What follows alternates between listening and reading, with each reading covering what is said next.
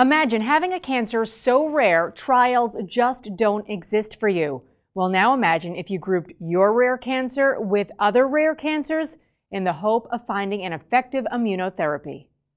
Limited treatment options and limited clinical trial options. That's what patients with rare genitourinary cancers have been told for years. We, as a medical community, really need to work to advance the care for these rare malignancies.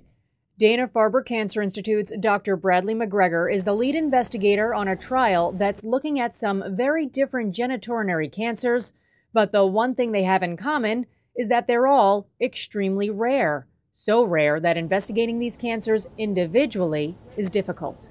They're ineligible, often eligible for the ongoing trials.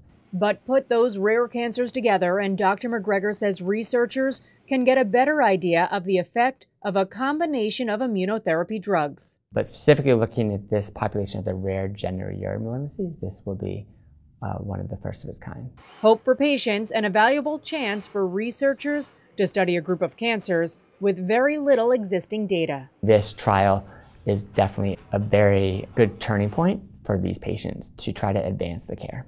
Dr. McGregor says the patients will be followed for years and what they discover could help shape future trials.